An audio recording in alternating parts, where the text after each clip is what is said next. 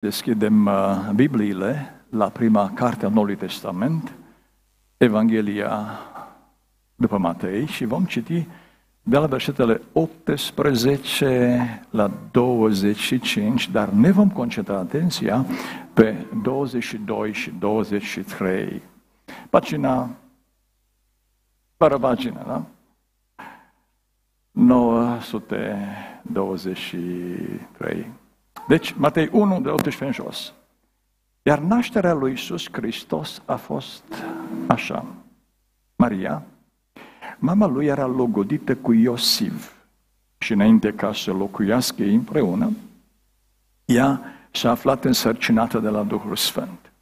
Iosif, bărbatul ei, era un om neprihănit și nu voia să o facă de rușine înaintea lumii, de aceea și-a pus de gând să o lase pe ascuns. Dar pe când se gândea el la aceste lucruri, i s-a arătat în vis un înger al Domnului și a zis, Iosife, fiul lui David, nu te teme să iei la tine pe Maria, nevastă ta, căci ce s-a zămisit, ce s-a conceput uh, în ea este de la Duhul Sfânt. Ea va naște un fiu și îi vei pune numele Isus, pentru că el va mântui pe poporul lui de păcatele sale. Toate aceste lucruri s-au întâmplat ca să se împlinească ce vestise Domnul prin prorocul Isaia care zice, Iată, Fecioara va rămâne însărcinată, va naște un fiu și vor pune numele Emanuel, care, tălmăcit sau explicat, înseamnă Dumnezeu este cu noi. Când s-a trezit Iosif din somn, a făcut cum îi poruncise îngerul Domnului și a luat la el pe nevastă sa. Dar n-a cunoscut-o, adică nu s-au culcat împreună, până ce ea a născut un fiu și el i-a pus numele Isus. Amin. Tată care ești în ceruri. Îți suntem pe deplin recunoscători că în dimineața aceasta ți-ai înnoit bunătatea față de noi. Și fără ca vreunul dintre noi să merităm să stăm în prezența ta, totuși ne-ai acordat acest privilegiu. Ne-ai acordat încă o dată șansa aceasta nemeritată și nesperată și îți mulțumim frumos. Acum, dacă suntem în prezența ta, cu siguranță ne-ai invitat ca un tată iubitor care îi pasă de fiecare dintre noi și care vrei să ne vorbești lucruri care țin de planul tău etern cu privire la noi și de binele nostru veșnic. De aceea, în numele Domnului Iisus te rugăm frumos, Fieți milă și sensibilizează mințile și inimile noastre. Tată, dincolo de ceea ce am frământat în mintea mea de zile în șir, te rog, îngăduie Duhului Sfânt să ia mintea mea în stăpânirea Lui, să ia emoțiile mele în stăpânirea Lui și gura mea și să mă facă efectiv gura Ta. Un instrument al descoperirii planului Tău și a voii Tale pentru fiecare dintre noi. Tu știi ce oameni sunt la întâlnire, oameni care unii te cunosc, mai bine sau mai puțin. Unii care nu te cunosc, alții care te ignoră. Tată, Tu ne cunoști pe toți, pentru că toți suntem lucrarea mâinilor Tale. Fie-ți milă. Și vorbește-ne prin acest Emanuel. Și nu ne lăsa să ratăm șansa pe care ne ofere astăzi de a accepta să fim conduși de tine prin Domnul Isus Hristos, pe care l-ai adus în istoria noastră, tocmai pentru a ne convinge că îți pasă de noi și pentru a ne oferi mântuirea veșnică de care avem atât de mare nevoie fiecare dintre noi. Amin. Luați locurile, vă rog, dragii mei.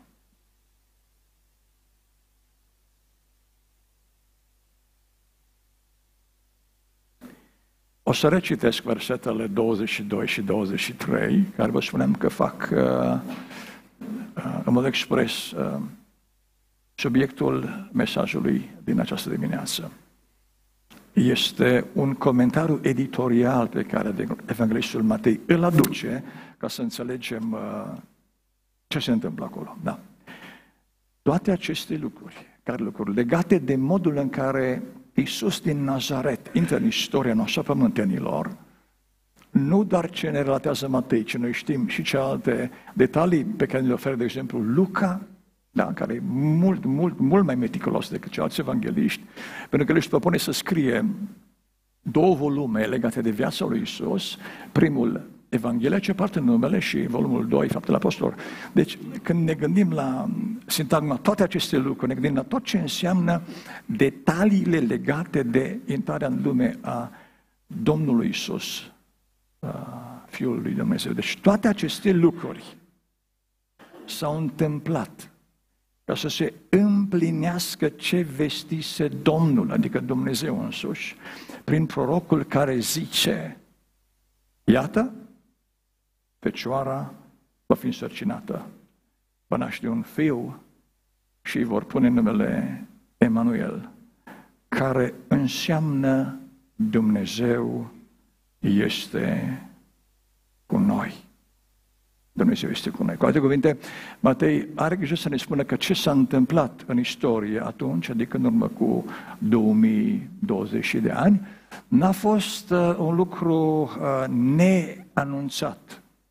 N-a fost un lucru care a apărut dintr-o dată în istorie neprevestit, ci a fost un lucru premeditat, un lucru gândit cu meticulozitate, un lucru pe care Dumnezeu l-a uh, conținut în planul său cosmic și că acum a venit momentul să se împlinească. Acum, ca să înțelegem cât mai bine uh, ce spune Duhul lui Dumnezeu prin condeul lui Matei, în textul nostru, e normal să ne uităm un pic la la această profeție la care face la aluzie, uh, și este vorba de profeția lui Isaia, o profeție care este destul de contestată și de comentată și de contrariată. Nu o să intrăm în detalii, ci vreau pentru înțelegerea mai clară a ceea ce vrea Dumnezeu să ne vorbească astăzi, să mergem un pic uh, în istorie prin anul 735, înainte de intrarea în lumea Domnului Isus. Da? Și haideți cu mine în Isaia, în capitolul 7.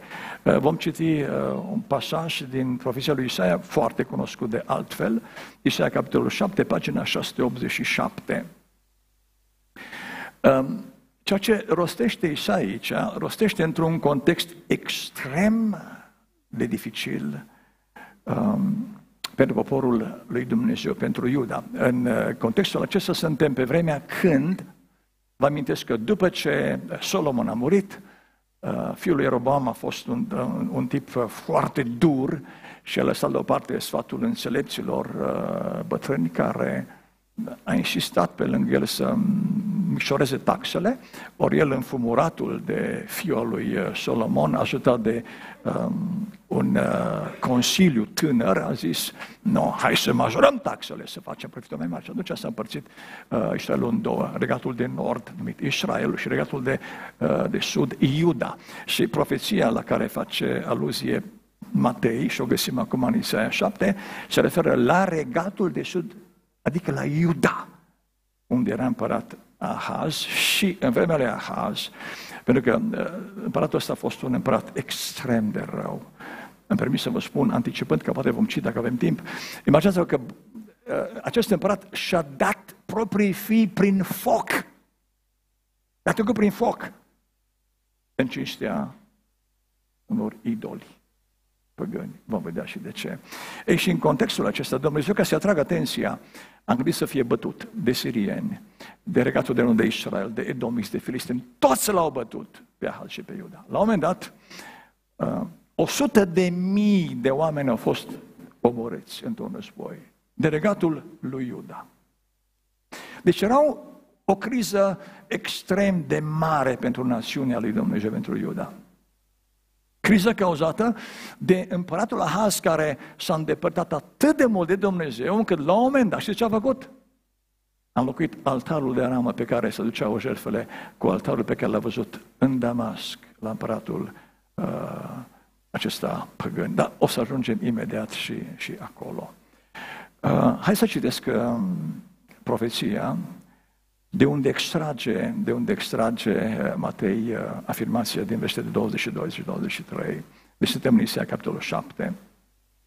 Într-un context atât de grav în care uh, Siria și Israel se unesc și fac un complot împotriva lui Iuda din nou și a lui Ahaz, el este disperat și Dumnezeu, măcar că s-a îndepărtat de el, vine cu o ofertă extraordinară pentru, pentru Ahaz. Hai să citim.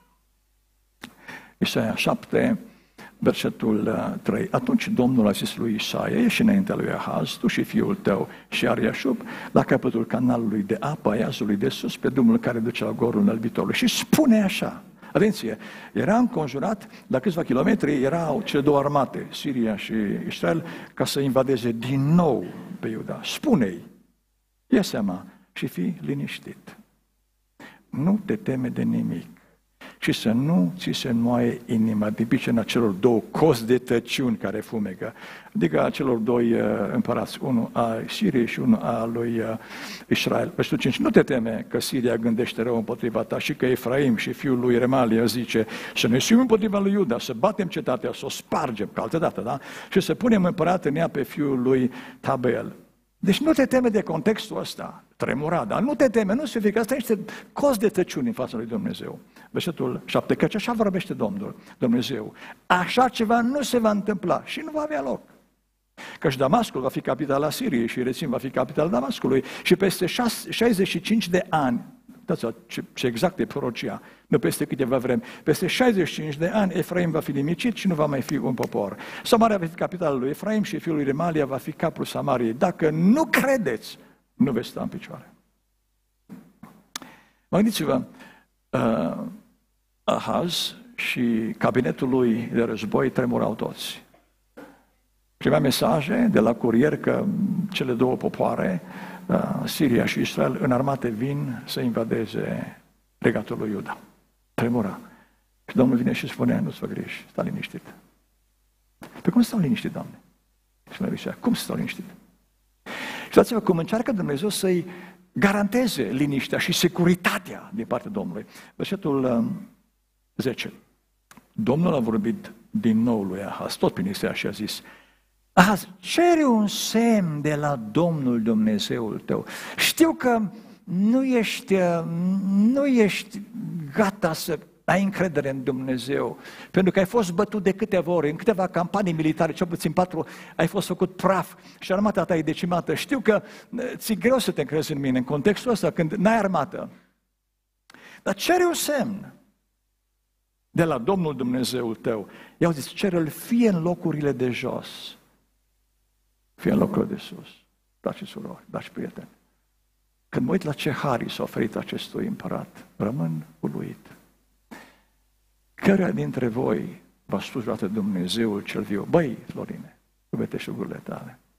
Băi, Ovidule, băi, Marine, băi, Nelu, uite-te, cere un semn. Unde vrei tu, dacă vrei să dau un semn jos, îți dau un semn între astre, sus, cerem orice semn și ți-l dau, ca să ai garanția că ce spun eu e adevărat, că exist, că îți asigur protecția și siguranța ție, familie și națiunii tale. Cerem ce semn vrei tu. Spuneți, unde ați mai întâlnit în istorie un asemenea privilegiu? Și cui îl dau? Da, un mizerabil de împărat ca Ahaz. Haideți un pic să vedeți cine a fost uh, Ahaz, ca să știți că s-a argumentat în ceea ce spun. Da. Um, haideți în doi cronici, de exemplu.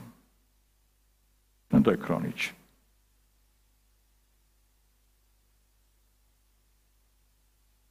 28 cu 1. Ia auziți cine era Ahaz. Ahaz avea 20 de ani când a ajuns împărat și a domnit 16 ani la Ierusalim.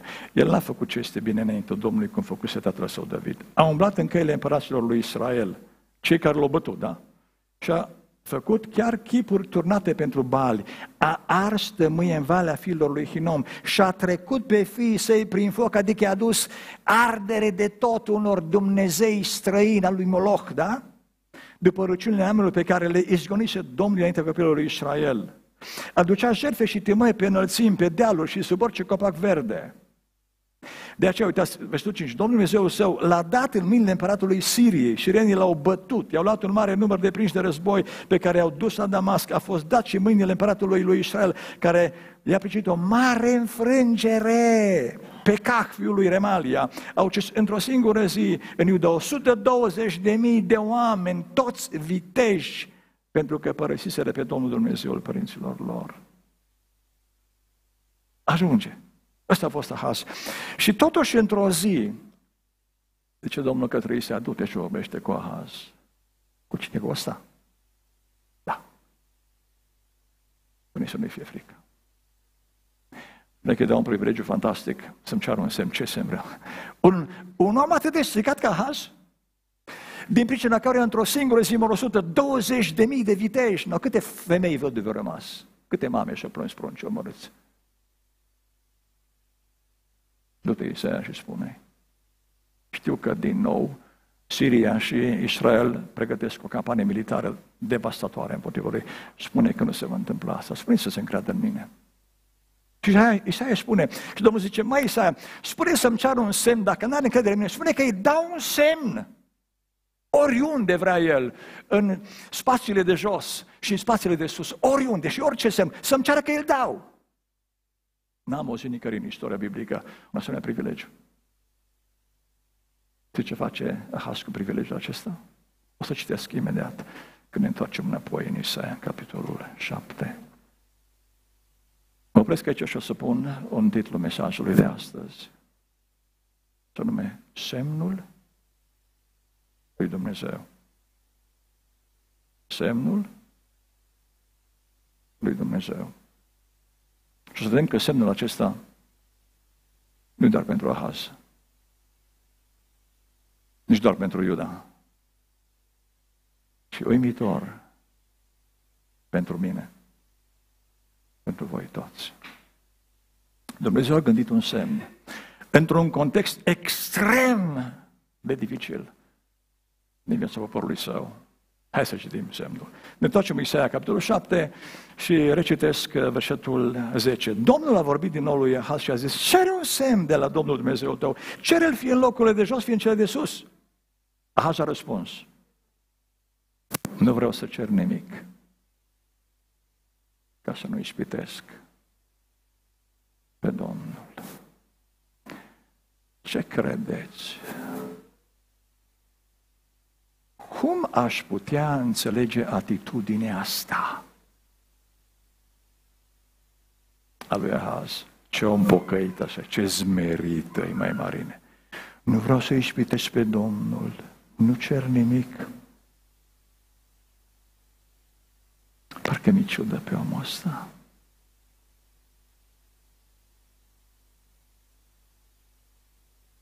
Vă amintiți că odată în istorie, un împărat se roagă Domnului și zice, Domne, ai pus împărat peste națiunea asta. N-am înțelepciune, n-am pricepere. Dăm înțelepciune să știu cum să conduc poporul ăsta. Și spune Domnul, ai Solomon, pentru că n-ai cerut bogăție, ce ai înțelepciune? Îți voi da înțelepciune ca nici un altui pământian și bogăție ca nici un alt împărat. Și în cazul lui Ahaz, Ahaz spune, nu vreau să ispitesc pe Domnul. Oare ce să înțeleg prin atitudinea lui? Că e un om zmerit? Nu, dragii mei. Este un ipocrit, un fals, un fariseu. Pentru că deja intrase într-o coaliție militară cu o nouă putere mondială care răsărea la orizont și devenea un imperiu în curând cu Asiria. Probabil că Siria și Israelul, pentru că Iuda n-a vrut să intre în coaliție cu ei, să lupte împotriva lui, uh, împotriva Siriei, a zis, hai că-l cotropim noi pe Iuda. Dar ce a făcut Ahaz? A făcut pe deșteptăs. Dacă până acum Dumnezeu nu mi-a dat biruință împotriva invaziilor popoarelor păgâne. El n-a înțeles că nu i-a dat-o pentru că a fost un, un păcătos, un mizerabil, că s-a îndepărtat de Dumnezeu, el și bordul de conducere națiunii și mai mari lui Iuda. Și de-aia au fost înfrânți. În loc să se pocăiască, să se întoarcă la Dumnezeu, deci ce a făcut? A intrat în coaliție cu viitoarea putere mondială, cu Asiria, și a zis, și a plătit bani grei ca Asiria să-l ajute. De ce a făcut Asiria? Hai să citim. Și din Isaia, capitolul 8, haideți să cu mine. Mai întâi Isaia, capitolul 7, versetul um, 17. Domnul va duce peste tine, Ahaz, peste poporul tău, adică peste Iuda și peste casa tatălui tău, zile cum nu au mai fost niciodată din ziua când s-a despărțit Efraim de Iuda, din ziua separării legatului de noștri de sud. Adică pe împăratul Asiriei. În ziua aceea, Domnul va șuiera muștele de la capătul râului Egiptului și albinul din țara Asiriei, adică, în mod metaforic, armatele acestea. Ele vor veni și se vor așeza toate învâlcelele pustii și încrepăturile stâncilor, pe toate stufișurile și pe toate în imașurile.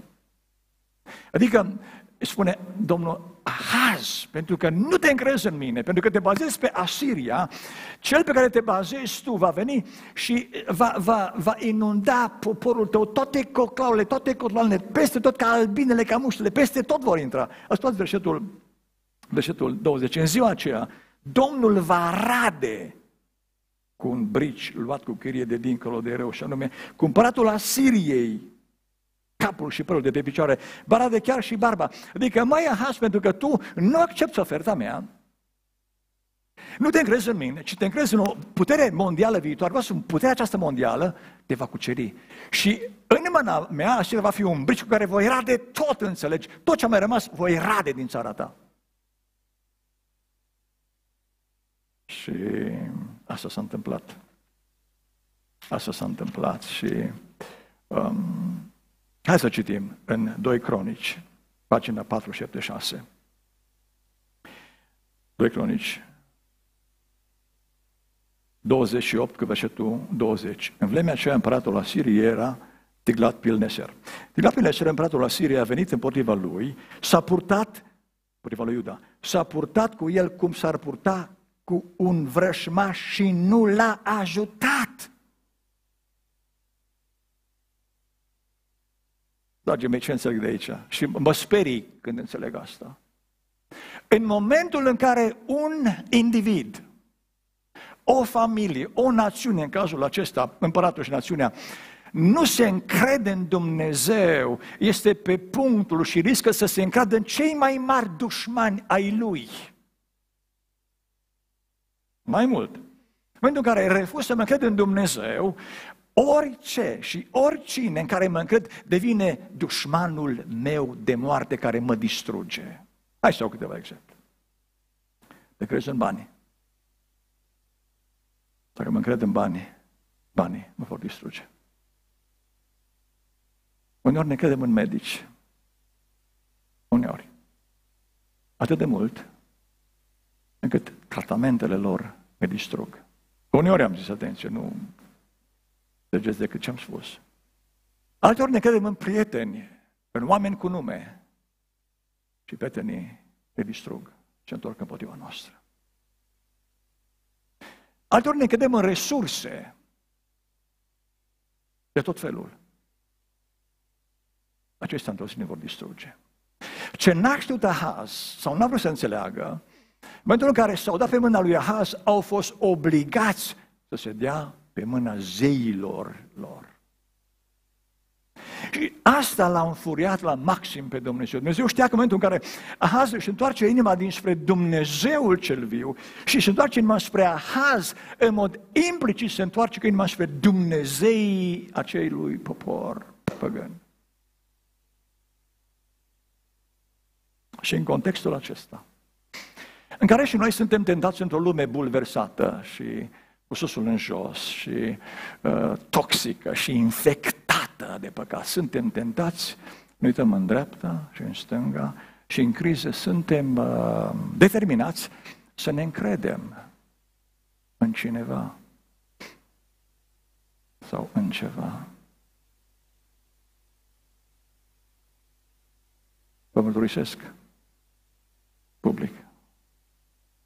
Uneori mă gândesc când a murit tata, dacă nu-l dădeam pe mâna doctorilor, când a avut COVID și îl tratam acasă.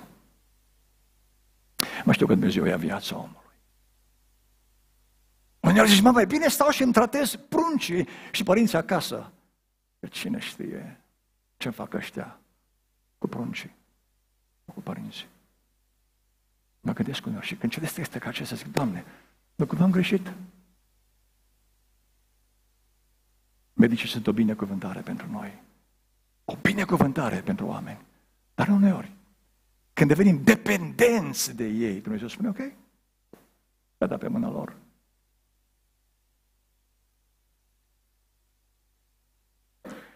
În momente de criză, unde zicem, Doamne, stăm cu Atena dimineață și în momente de criză, zici, Doamne, dar aș avea nevoie de un semn. De unde să știu eu să fac pasul ăsta? Dacă e un pas spre nenorocire, de unde să știu? Asta a fost într-un context foarte delicat, în care, deși Dumnezeu îi oferă un privilegiu extrem, extrem de rar în istorie, dă cu piciorul în el. Acum, mă întorc la textul din această dimineață. Își pune o întrebare absolut legitimă. Vreau să-l înțeleg. Știm vizita pe care Gabriel o face, sau Gabriel, la casa Mariei și spune că va rămâne însărcinată? Era virgină. Ea se sperie pentru că știa că este o fată pură, logodită, și la evrei fac o paranteză, logodita ține un an, timp pe care se cunoșteau, dar locuia fiecare la casa părinților lui. În cele de eu sunt curată, pură, virgină. Cum adică să nasc un copil? Stă liniștită. Puterea lui Dumnezeu te va umbri și Duhul Sfânt va fi cel ce va concepe în tine pe Fiul lui Dumnezeu. Frământată își pune trebănul lui Iosif, Iosif se gândește, mă, nu se poate. Era ceva inedit, nu s-a în istorie, în istoria lumii, în istorie. Așa ceva nu se poate, cred că am înșelat Maria și frământat și frământat și nesom și coșmarul și vine îngerul noaptea într-un vis. Iosive, ăsta e textul nostru. Nu te teme să iei la tine pe Maria, nu te-a înșelat, e pură, e curată. Ești nepreit și ca și tine. Ei, ce s-a întâmplat în ei de la Duhul Sfânt? Va naște un băiețel și o să-i pui numele Iisus, pentru că el va mânt... Iisus înseamnă cel ce mântuie, da? Pentru că el va mântui pe poporul tău de păcatele lui. Și acum vine Matei și spune, astea s-au întâmplat ca să se împlinească ce a vestit prorocul Isaia. Întrebarea mea, de ce aduce Duhul Sfânt în mintea lui Matei profeția din Isaia? În ce consta semnul acesta? Și amintiți-vă?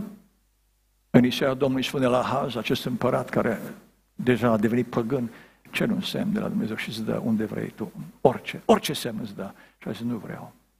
N-avea nevoie de Dumnezeu. S-a bazat pe logica lui, pe uh, inteligența cabinetului uh, de război și pe Asiria. Și a ratat șansa. De ce oare, când intră Hristos în istoria noastră, se duce în imagine această profesie? Și amintiți-vă care e semnul. Ce Isaia, totuși, chiar dacă nu vrei, Dumnezeu îți dă un semn. Iată, fecioara va rămâne sărcinată și va naște un copil pe care îl va numi Emanuel. Întâlnirea spre Dumnezeu îi a totuși, în gura lui Isaia, totuși Dumnezeu este cu noi. Și, frații și dragi prieteni, în ce sens acest Emanuel, Iisus din Nazaret, este semnul lui Dumnezeu? Că în persoana lui Iisus din Nazaret, Dumnezeu se învederează. Dați-mi voie să citesc uh, o solicitare de altfel pertinentă, adică normală, din partea iudeilor care îl urmăreau atent pe Isus din Nazaret. Și la un moment dat, în capitolul 6 din Evanghelie după, după Ioan, ei vin cu o întrebare absolut normală. Ioan 6, versetul uh, 30. Îl întreabă pe Isus. Ce semn faci tu, deci? I-au zis ei, ca să-L vedem și să credem în tine. Ce lucrezi tu? Imaginați-vă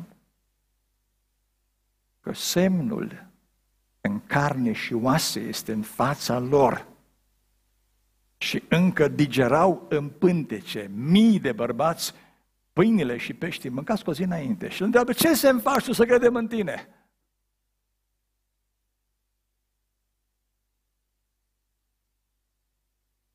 Iisus din Nazaret stă în fața lui Pilat. Și când își spune Mântuitorul că el a intrat în istoria aceasta ca să mărturisească despre adevăr, Pilat îi pune o întrebare. Nu știu cum să-i batjocoritoare sau cu bună intenție. Și ce e adevărul? Și ce răspunde Iisus? Nimic. Nu răspunde. De ce? Ce adevărul, mai? Adevărul era în fața lui și nu-l vedea. Ce să mi faci tu să credem că ești și ne pretinzi că ești? Că uite, Moise ne-a dat, mă întorc în Ioan 6, Moise ne-a dat pâine din cer și zice, Iisus nu v-a dat pâine din cer, ci eu sunt pâine. Descoperă din cer. Moise, eu sunt. Ce semn faci tu? Eu sunt semnul. Eu sunt dovada. Și amintiți-vă, mica trecută, am vorbit despre minunea minunilor, adică intrarea în istoria Domnului Iisus Hristos și am folosit uh, Ioan capitolul 14. Și Ioan, spuneam data trecută, își concluzionează Evanghelia zicând că Iisus a făcut multe alte semne care nu sunt conținute în cartea aceasta. El relatează șapte dintre ele. Dar aceste lucruri au fost scrise, spuneți 20 cu 30, 31, 20 cu 31, Ioan, acestea au fost scrise pentru ca voi să credeți că El este Isus, e Hristos și să aveți viață numele Lui. În Ioan, această, în această Evanghelie, dragii mei, nu o să găsiți ideea de minune, ci Ioan folosește conceptul de semn de semn. Pentru că noi toți, toți oamenii vrem să vedem niște semne care să confirme convingerile noastre. Dacă mergi din Deșe până în Cluj, pe șoseaua asta găsești o puzdere de semne. Zeci de semne, zeci de semne, tot felul de semne. Semnezi pe niște table, da? Pe marginea drumului. Toate aceste semne confirmă ce va spune viteză redusă sau ai voie până la, curbă periculoasă, curbă stânga, curbă dreapta și mai departe. Toate aceste semne sau indicatoare arată înspre ceva, confirmă ceva. Și toate au ca scop protejarea vieții noastre. Ei, când Hristos intră în istoria noastră, El este semnul lui Dumnezeu.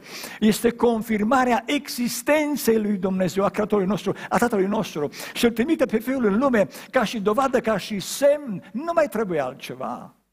Și zice Apostolul în, în Evrei, după ce Dumnezeu a vorbit în multe ocazii, multe feluri pentru noștri, prin proroci, la sfârșitul acestor zile ne-a vorbit prin cine? Prin Fiul. Pentru că El este oglindirea, întipărirea ființei lui Dumnezeu. Și când tu ești la Iisus Hristos, îl vezi pe Tată. El este semnul lui Dumnezeu. Și când Dumnezeu înfige în istoria noastră semnul acesta, în urmă cu 2000 20 de ani. Fiecare pământean, când se la semnul stare, dă pe gânduri și spune așa, ca și Ahaz. Nu mai să cerem un semn, că semnul este în Iisus Hristos. Știți de Iisus Hristos? Păi cred în El? Nu cred. E o persoană istorică? Oare cu adevărat o fi înviat? Oare dacă Evangheliile astea sunt o invenție a minții, o popii le-au făcut astea, popii. Biserica l-a inventat. Mă dau pe mâna cărții astea, nu te obligă nimeni. Dar ține minte ce spun. Nu e orice Dumnezeu. Poți să stai să te rogi zeci de ani până mori, să ceri un semn. Dumnezeu nu-ți mai dă nici un semn. Păi, farisei, auzi, uh, dă-ne un semn. Păi nu. Semnul procului Iona va ajunge. Cum Iona a stat trei zile în pântece, chitului așa va sta fiul omului în pântecele pământului. Alt semn vă dau. Un neam viclean și prea curvar, zice Hristos acolo în Evanghelie. Ce are un semn? Nu vă dau niciun semn. Pentru că semnul este în carne și oase în fața voastră.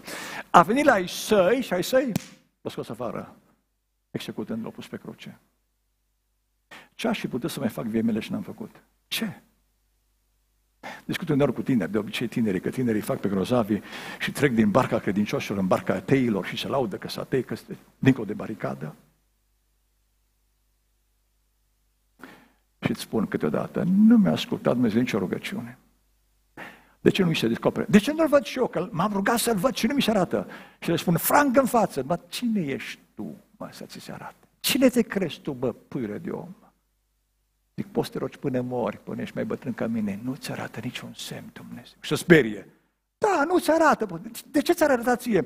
Când toată Biblia asta e plină. Și tu nu ești interesat să vezi semnul. Încă din Genesa 3 cu 15, Dumnezeu discută cu șarpele și spune, dușmănie voi pune între tine și femeie. Trebuie să între tine și sămânța ei. Tu, șarpe, îi vei zobi călcâiul. Dar sămânța ei a femeii, a bărbatului, va zobi capul. Vorba despre Hristos, semnul lui Dumnezeu.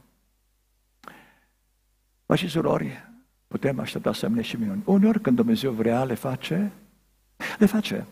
Pentru că are planul Lui.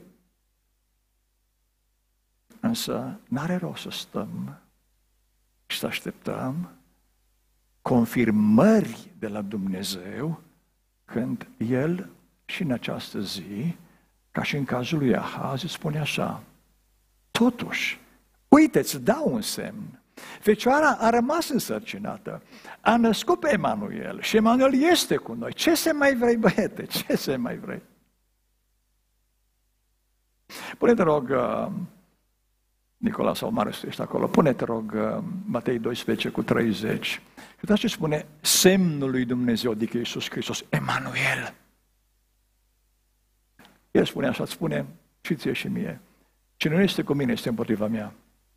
Și cine nu strânge cu mine, risipește. Ce mai vrei? Ce mai vrei?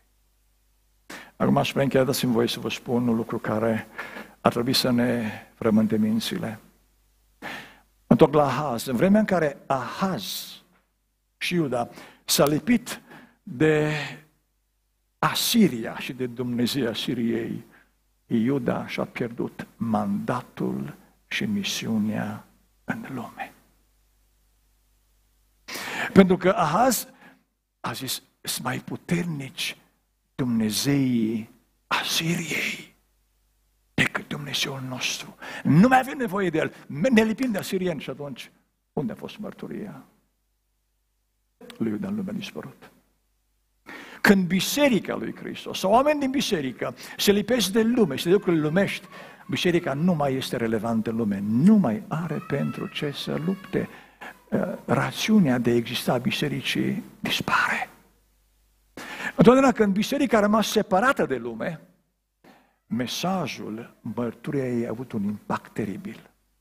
Dar pe măsură ce biserica se asociază cu lumea, intră în proiecte lumești, mandatul și misiunea bisericii se stinge. Hai să fiu concret. În momentul în care noi, pocăiții, trăim ca lumea, zice lumea, bă, ce sunt la pocăiți, mă? Ăștia scurvare, ăștia bețivă, ăștia oameni de afaceri și mechere, ăștia rup facturi, ăștia măsuresc, ăștia dau țepe. Ce mă mai la pocăismă? Așa zic, ați auzit vorbe de astea? Când noi pocăiții nu mai suntem călăuziți de, de Dumnezeu și nu mai avem pe Emanuel, adică nu mai trăim, nu mai gândim, nu mai lucrăm cu Dumnezeu, cealaltă opțiune este să lucrăm cu lumea și ne-am pierdut, ne-am ratat menirea indiferent cât de frumoase sunt programele noastre, cât de bine sună colindele noastre, indiferent cât de bine sună predicele noastre, indiferent ce podcasturi frumoase avem noi, indiferent, zero. Când lipsește semnul din biserică, adică prezența lui Dumnezeu. Și acum la încheiere, m-am frământat mult și spuneam atât, bă, dimineața am înțeles ceva, ce am înțeles toate zilele astea, și mă pregăteam. Am zis, bun, eu spun bisericii despre Emanuel că Dumnezeu e cu noi. O să mă întrebe de unde știu eu că e cu mine Dumnezeu. Hai să o spun de unde știu eu. Și veniți cu mine în Ioan capitolul 14. Ioan 14. Versetul 15. Rețineți că în această parte din Ioan, în Evanghelie, Domnul Iisus vorbește numai cu ucenicii lui, nu cu lumea, gata. Din capitolul 13 se retrage în cercul de ucenici. Și le vorbește lor și nouă astăzi, auziți. Dacă mă iubiți, se va întâmpla ceva cu voi. Veți păzi poruncile mele. Și au zis consecința.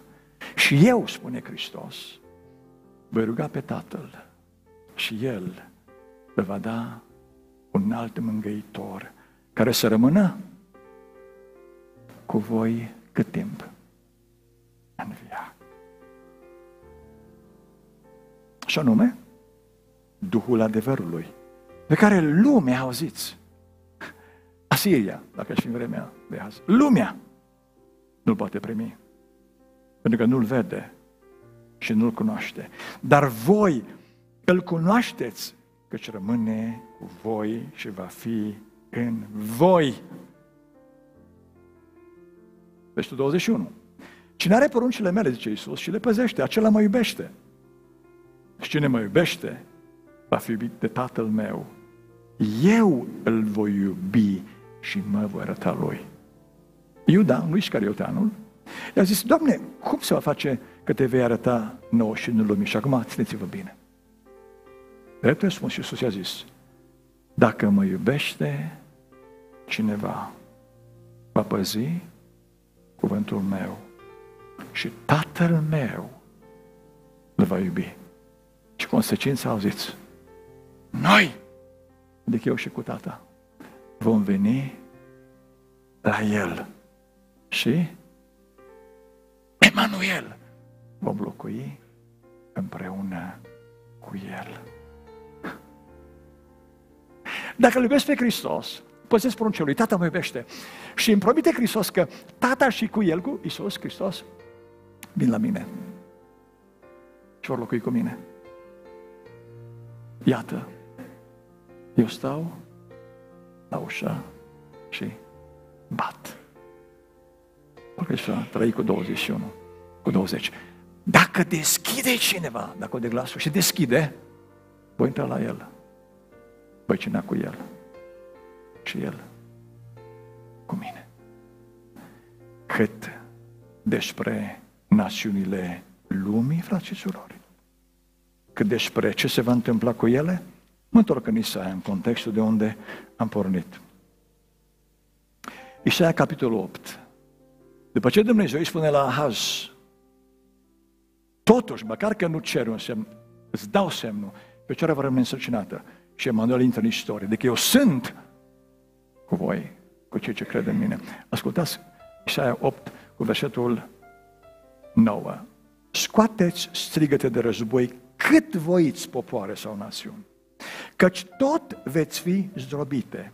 Luați aminte toți cei ce locuiți departe, pregătiți-vă oricât de luptă, căci toți veți fi zdrobiți. Pregătiți-vă oricât de luptă, căci tot veți fi zdrobiți, adică înarmați-vă națiunile lumii.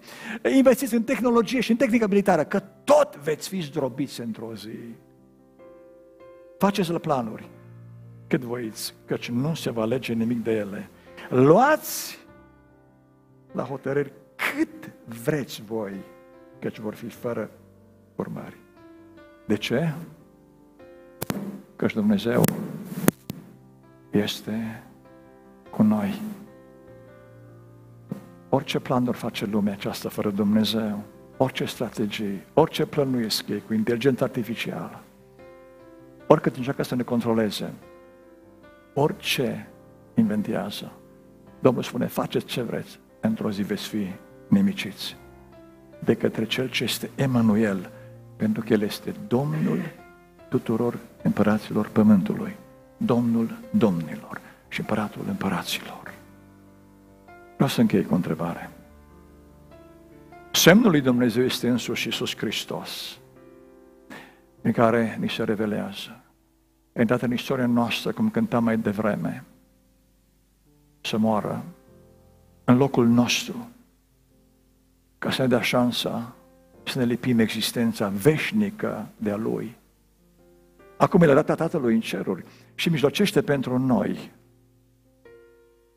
nu să ne ofere vreun semn, nu mai este cazul, și să acceptăm prin credință semnul acesta. Îți ține minte. Cine nu cu El, cu Hristos, este împotriva Lui. Și într-o zi va fi nimicit. Ferească Dumnezeu pe fiecare dintre noi ne lipim de altcineva sau de altceva în afară de Hristos și de Tata. Te rog pe Duhul Sfânt prezent în noi și între noi să facă această lucrare în noi și să ne convingă de această realitate. Amin.